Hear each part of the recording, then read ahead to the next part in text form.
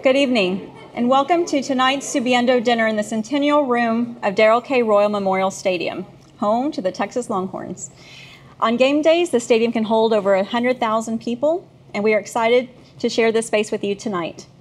I hope you all had a great day learning and discovering all you can about your, your challenges in healthcare and energy and environment and higher education. Your project is based on understanding why these challenges exist and how important your role as future leaders will be to solve them. Many of you visited with the research team to develop the questions you need answered tomorrow from our policy panels. So please keep up this inquisitive stage of your project this evening. Before we start our dinner, I would like to thank our keynote speaker for flying in to join us this evening. Ambassador Ron Kirk has served in numerous leadership roles throughout his career, affecting policy at the local, federal, and global levels of government. I encourage our students to inquire about his service and time as the former U.S. Trade Representative, whose responsibility was to develop and recommend trade policy to the United States President, Barack Obama. We look forward to hearing from Ambassador Kirk over dessert, and thank you for giving your time to be here, Ambassador.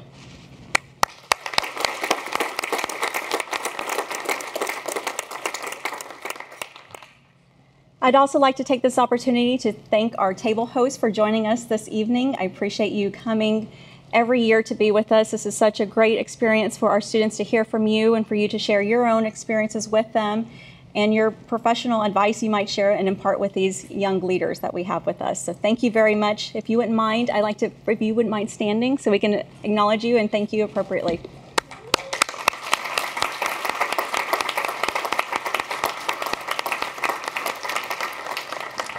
We also have um, representatives from the admissions office. I see, hi, there you are. Do you mind standing so our students can be sure to ask you questions at the dinner table? This is a very important role for you. Thank you. Since I know I stand between you and dinner, and as I will not make you wait as long as you did last night at the etiquette dinner, um, I will invite you to begin with your dinner. We will reconvene over dessert when we will have Ambassador Kirk to speak with us. And for that, please enjoy your dinner. Well, now I would like to invite Astrid Alvarado, who will be um, introducing our keynote speaker. So, Astrid, will you mind joining us?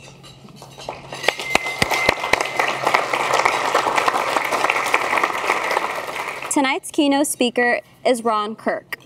Ron joined the firm Gibson, Dunn, and Crutcher in April 2013, served as the 16th United States Trade Representative, and was a member of President Obama's cabinet, serving as the president's principal trade advisor, negotiator, and spokesperson on trade issues.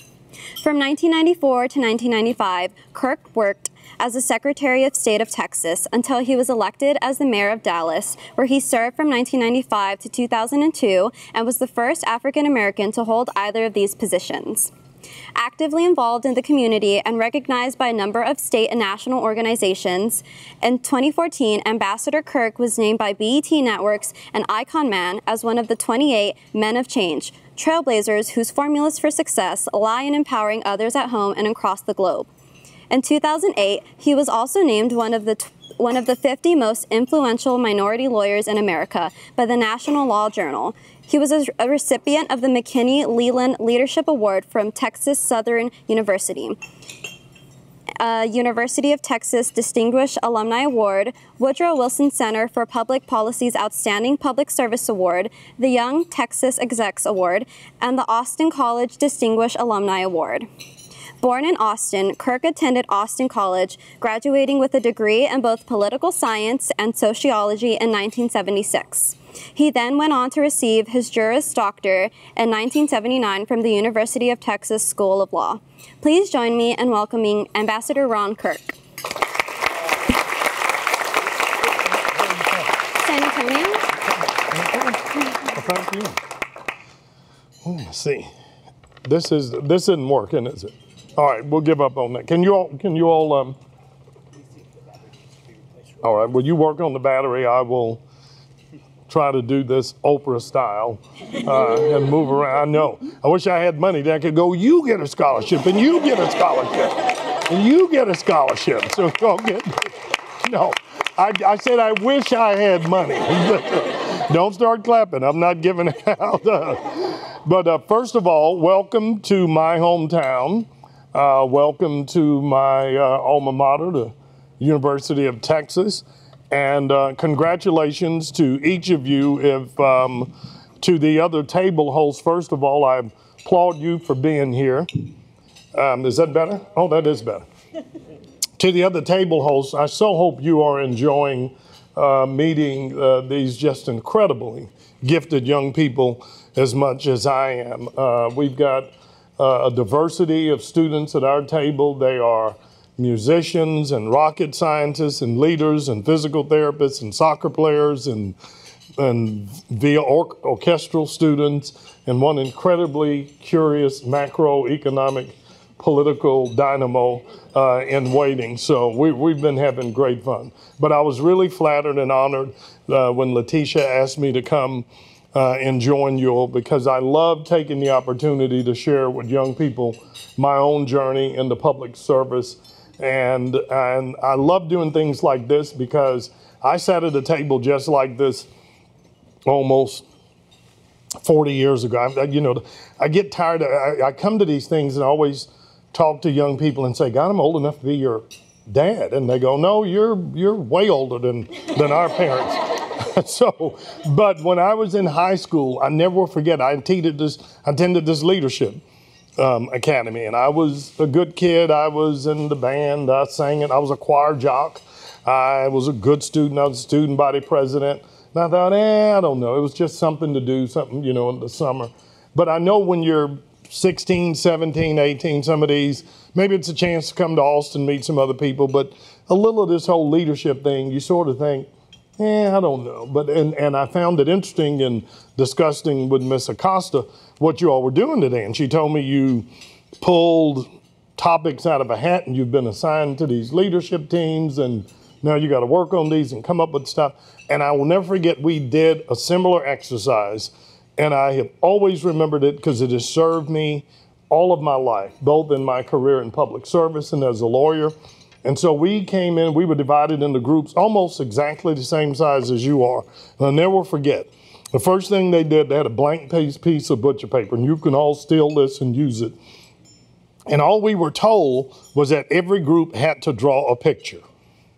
Now, at least they gave you all topics. I know you're saving the earth or cleaning up parks or doing healthcare scholarships. We were just told that we had to draw a picture. We were given no guidelines and we had, you know, paint or Crayola or something. I mean, this is so long ago, it might have been flint rocks, but we had something. And we all drew these pictures. And then we went on for the rest of our conference for the next two days. And they never mentioned these pictures. And at the very end of the conference, we come in for our last day, and they have up on a wall behind us all of these pictures. And they're all numbered by each group. And they explained to him the very last thing we're going to do is each group was supposed to elect one or two people to come up and tell everybody what your picture was about, and then everybody else in the room was going to critique that picture. And it became evident after about the third or fourth group which groups said, okay, who's the artist in the group? Because those pictures were awesome. You could look at them and say, that's a city, that's a park, that's a car, that's a landscape. They had shape, they had form, they were recognizable. And then these other pictures were just this indecipherable mess. And they looked like a bunch of people who didn't know what they were doing drew them. But the most important part of that lesson was when it came time for people to critique the pictures, who defended them. And it was real obvious, real quick, that the groups that just picked the best artists and let them draw something, when people challenged that picture, then everybody else sat back and said, Well, it ain't my picture. I didn't draw it. You know, let him defend it. He drew it. And then these other things that you were going, that's not a city, that's not a house. The whole team fought for him because everybody on that team had had a hand in drawing that picture. And the only point I'm trying to make to that is you go through life, you'll find, and I know it seems a bit heady now to think of yourselves at 18, 19 years, well, I'm going to be a leader. Maybe you will or you won't, but at some point in your life, you're going to be in charge of something. And you're probably going to be asked to lead something. You're bright kids. I hope you all go to college. You're going to do other things. But what you'll find the best way to build a team, the best way to move an organization is when you can put a paintbrush in everybody's hand. And you let everybody get vested into drawing that picture and they're going to fight for it. And that's what leadership and that's what teamwork is about. My journey started not quite a mile from where we stand right now. I don't I know there are a couple of people here from Austin, but I grew up in Austin, in East Austin. I'm 60 years old. I don't mind telling. I'll be 61 next week, but I was born 1954. That's only important. But 1954 was the year that the Supreme Court decided something called Brown versus Board of Education that basically outlawed this whole notion that you could separately educate, for the most part, black and Hispanic kids from white kids and said, you know what, you got to bring everybody together. Separate but not equal is not the rule of law. And ironically, 10 years before that, the Supreme Court ruled on another case that's a little more obscure called Sweatt versus Painter. The same lawyer, this dynamic young lawyer named Thurgood Marshall, sued my beloved University of Texas that I'm proud has given me every award they have. They've given me the Young Texas Execs, the Distinguished Alumni Award, and all that. But I reminded them, you know, when I was a boy growing up, my mom and daddy couldn't come to UT because it was closed off to people of color. And so Sweatt versus Painter challenged the University of Texas is not letting students of color in. They won that lawsuit. It ultimately led to the creation of what is now the Thurgood Marshall Law School in Texas in uh, Texas Southern, but it also led to opening up UT in particular for whole generations of Hispanic, and we call ourselves black then, uh, but Hispanic and black kids to be able to attend that university. And I tell you that because, notwithstanding my introduction, which is filled to references in my career in public life, my dream was always to be a lawyer. When I was the age that you all were, and people said, What do you want to do? I wanted to be like Thurgood Marshall. I wanted to be the lawyer that continued this quest to make this country live up to all the promises that are embedded in our Constitution that basically says all of us are created equal. The great thing about this country at the end of the day is we operate on this premise. Sometimes some people feel it's illusory, sometimes people feel we haven't gotten there, but the great thing is we're always trying to perfect this notion that everybody's created equal, that there are no people born to a certain class and privilege. Everybody ought to have the right to ascribe to whatever dream you want and reach that dream, limited only by your willingness to work hard to get that. And one of the reasons I accepted the invitation to come share with you tonight is that by virtue of you being here, at least you've demonstrated you've got some kind of dream. You've got a commitment to some life different and better than what you have right now, and you believe that investing in yourself, investing in your education is a path to get there. And the good news is you are absolutely right. And I don't know where you're all from. I'm told you're from all over the state. You come from different circumstances. I would imagine, how many of you are going to be the first in your family to go to college? It's most of you in the room. That is a great thing. That's okay. So you're going to be path makers. You're going to be path makers for other kids in your neighborhood, in your family, that they see you do it and say, if you did it, I can do it. And your parents are doing everything they can because they want you to have the one thing that they didn't get, and that's a chance to go to college. Because they fundamentally understand if you the more education you have, the more confident you get the more you have the ability to do different things and dream big dreams. And so, one, I applaud you, and I'm begging with you, don't give up on that dream. Uh, I have two daughters, they're 23 and 26. One studied art history at Columbia University, the other one is a professional dancer.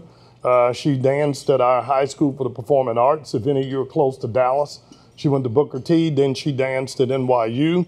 As a father, I was not excited about paying that much money for a art historian and a dancer. but the one thing that I told him, and it came back to haunt me, I always tell him, ultimately, you're going to be best doing what you love. And all of you have family, you have friends. There's no one that is as hollow as someone who's just missing a little bit of joy because they got a job, but they don't have a passion. They're not doing what they love. And look, I understand that my parents had jobs. My parents had good jobs and they put us through school. My father was the first black male clerk in Austin, Texas.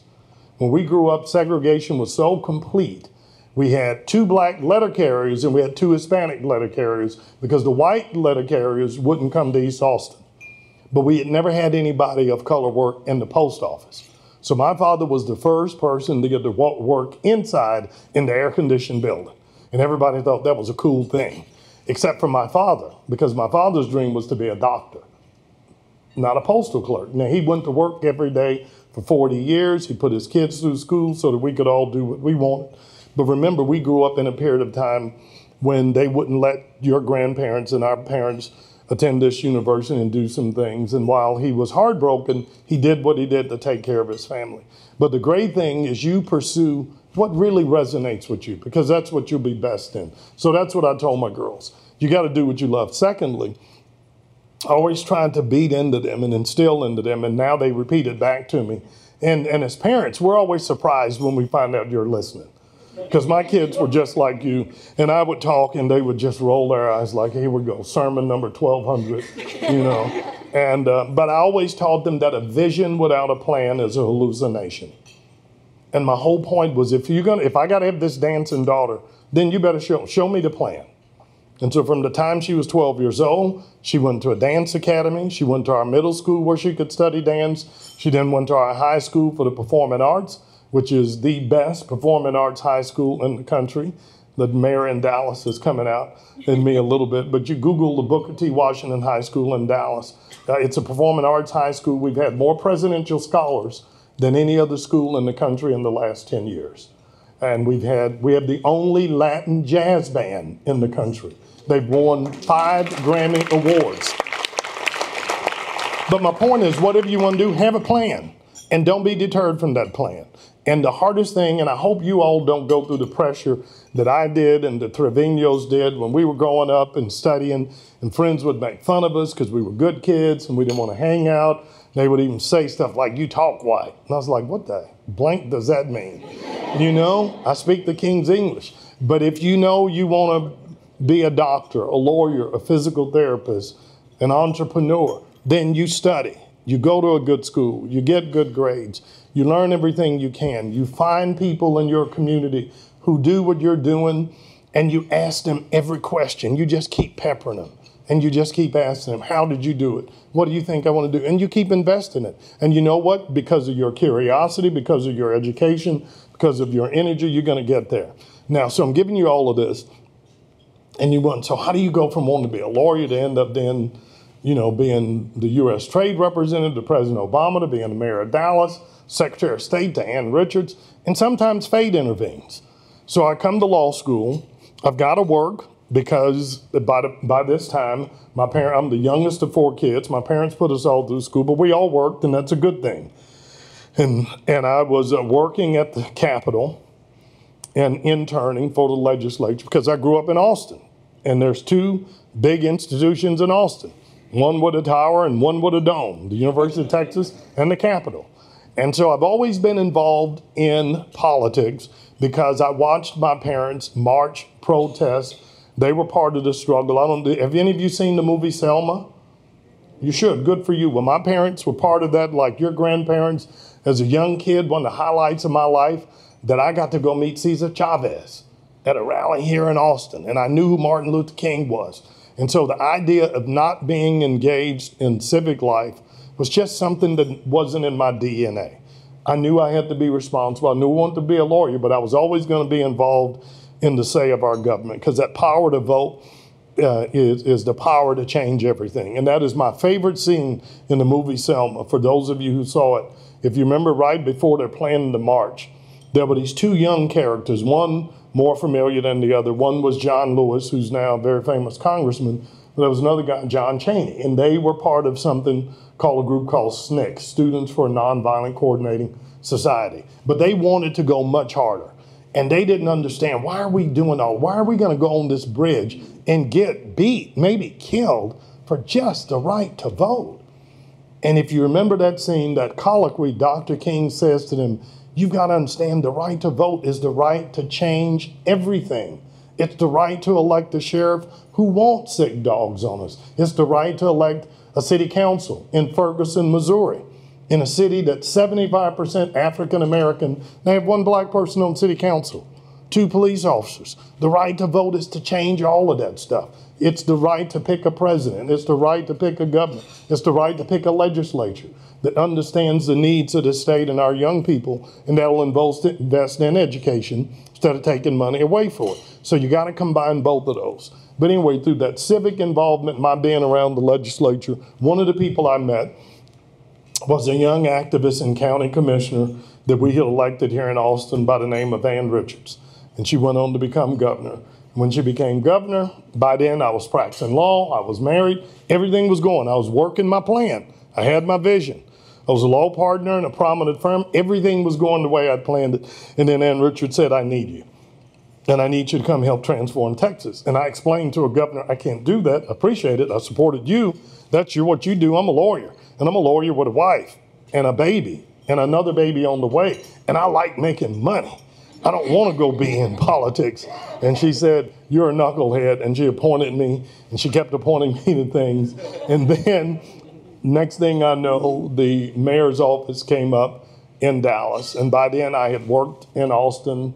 I had worked as a lawyer for the city, and I thought I got this. And so in 1995, I ran for mayor of Dallas. And I was able to win, and I was elected again. And then in 2001, I went through a, a, a, period that my girls affectionately call What Was Daddy Thinking? And I ran for the United States Senate. I won the Democratic nomination, didn't win the race, but I was running all around the country raising money because it's numbingly expensive to run for the Senate in a state like Texas. And I was in Chicago, and I was begging for money. And we'd raised a little money, and it was moderately successful. And when the event was over, I got on the elevator, and literally right before the door closes, these two kids, I call them kids, these two guys get on. One guy's short, he's doing all the talking. And it's kind of typical stuff. Oh, Mayor Kirk, you're great, man. We support you. We followed your career. You're going to win, you know, yada, yada, yada, BS, blah, blah, blah. And he says, My friend is thinking about running for the Senate in Chicago. Do you have any advice for him? And this guy hadn't said a word. I looked at this guy. He's kind of skinny. His ears are too big for his head. He hadn't said anything. And I said, Well, I assume your friend can speak. What's his name? And he said, My name is Barack Obama. Do you have any advice for me? And I sort of suggested maybe he ought to change his name and told him that he'd never have a career in politics with a name like that. Now, you got to remember, this is 2002, which is after September of 2001 when a man by the name of Osama bin Laden had directed uh, the most atrocious attack on this country ever. But we developed a little bit of a friendship, not so much around politics, but around the fact that he was married to a professional woman. He had two little girls who were six and three. When I was elected mayor, I had two little girls who were six and three. And I had a wife who graduated from the University of Pennsylvania and thought she was marrying, as she said, an income producing spouse, not a future political leader. But we bonded around our mutual ambition to serve the public. But how do you do that and keep your marriage whole and make sure you raise two good kids? And as you know, he ended up being president and gave me the privilege to serve and work with him. So that's kind of how I got from there to here. Uh, I'll close with a little bit of what I did. Have any of y'all ever, um, let me guess, other than, than Leon, which he spells lion, I still don't get that. That's better than Obama. the U.S. Trade Representative is perhaps the most obscure, but one of the most important positions in the president's cabinet. It's in the news every day now because every newspaper is talking about how the president just got handed this huge defeat because all the Democrats refused to give him any more authority to go do trade deals. And all of that's coming out of the U.S. Trade Representative's office. It's an office 50 years old, and its only job is you represent the president and the Congress all around the world with all our trade partners. Why is this important to you? Because your generation, even now, first in your family to go to college. Maybe all of you will go, maybe you won't. But the one thing I can tell you for sure, you're either going to work for a company who maybe is a foreign company doing business here, Or you're going to work for a company that may ask you, would you be interested in living in Mexico or Cuba or Africa or Brazil? For your parents and I, it was a big deal for a lot of us just to maybe leave Brownsville and come to UT or leave Austin and go to Sherman and Harvard. And that was a big deal. We were the first of our generation to do that. But your generation is a part of the most globally connected society ever, principally because I'm guessing, well, let me ask you this who at the table doesn't have a cell phone? So everybody here's got a cell phone. You don't have a cell phone? Oh my God. I thought unicorns were a myth. we should get you a Popemobile, put a little bubble around you. But if you've got a cell phone, if you've got an iPad, you know the internet, you're connected to the rest of the world now. Everybody in the world knows what happened in McKinney, Texas now. And people who live all over the world, even though they have leaders that tell them you can't do this and that, they go on the internet and they look at the lives you lead here in the United States and they think this is pretty cool.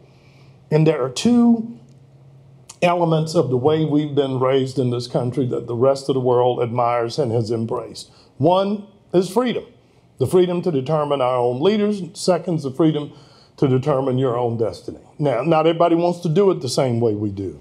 But the real story of the last 30, 40 years, the last 18 years while you all have been growing up, in the 18 years since you all have been born, apartheid is no longer the rule of law in South Africa. People are free all over the world. And the one thing they all embrace is freedom and self determination. And they all believe the best tool to get that is to get an education. It's why parents used to put their children in life rafts in Cuba and Haiti and just put them out and pray that they got to Miami with nothing else but just the hope that if they got to this country, they could get a chance to go to schools and change their lives. And in that society, in that world now, the rest of the world has looked at the quality of lives that we live and think, I want a piece of that dream. And now they have a little bit of money and they want to spend money. And again, because of the internet, they can buy anything anywhere. But the words made in America, the most powerful brand in the world. Because people believe if I buy something made in America, it may work. And if it doesn't, I'll put it in a box and send it back to Apple, and they'll send me another one. They believe if I buy Tylenol and I know it comes from America, my children will get better. In Africa, 95% of the drugs sold and consumed in the continent of Africa are counterfeit. How would you like to have a child with a fever or an upset stomach and sit there and play Russian roulette, knowing that there's a 9 in 10 chance that the Benadryl, the Tylenol, the Advil you give them is not only not Tylenol or Benadryl, could be something horrible. So the rest of the world really envies our way of life. And trade is one of the tools by which we link the world.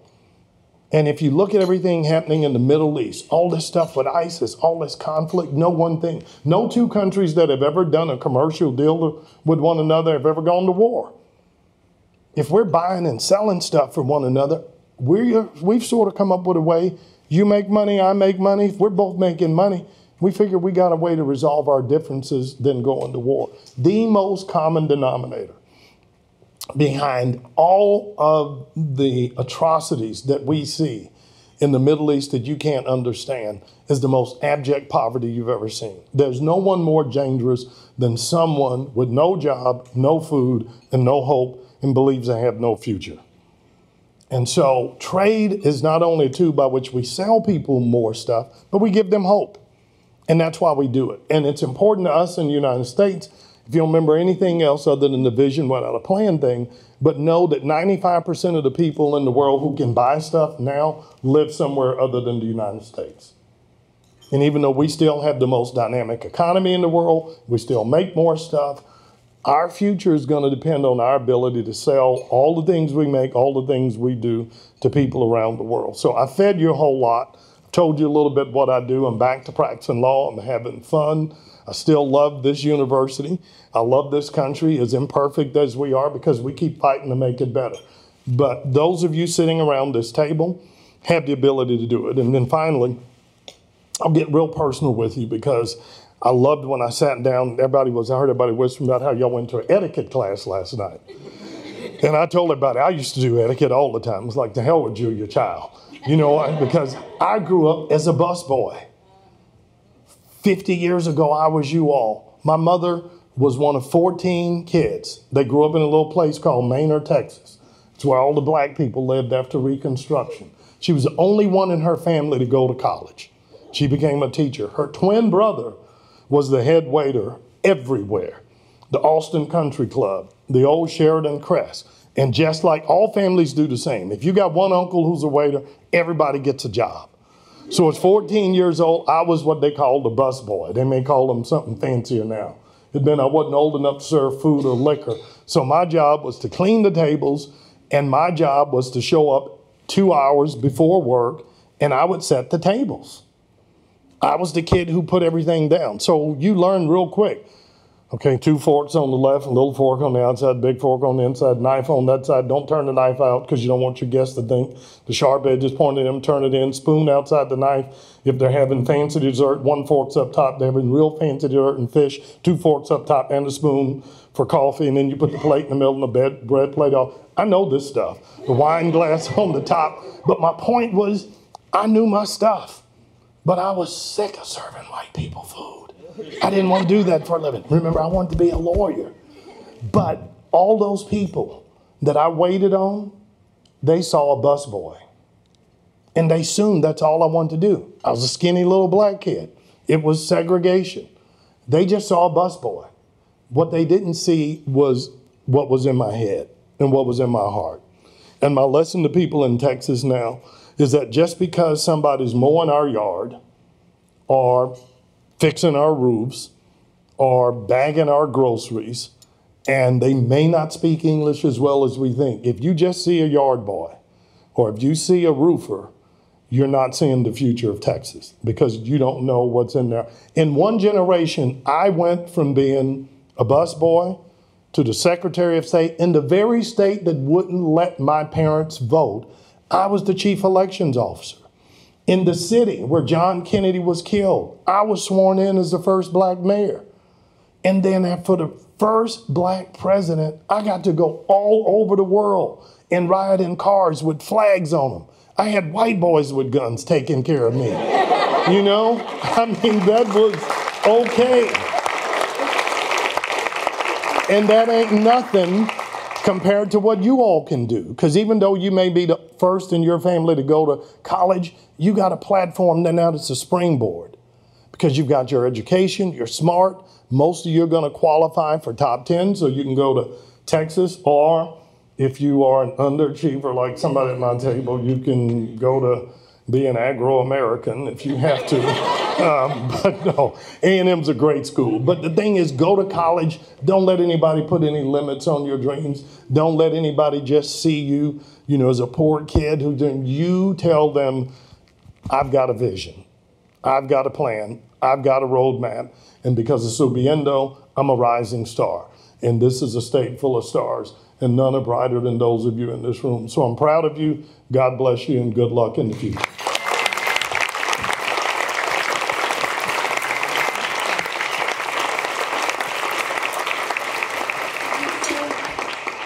Thank you so much, Ambassador Kirk. That was fantastic. We have a small token of our appreciation. I've got Neil Robbie coming up. I would like to thank you for coming and talking to us and guiding us, and I'm talking of appreciation, So Subiendo is presenting you with this gift. Thank you so much.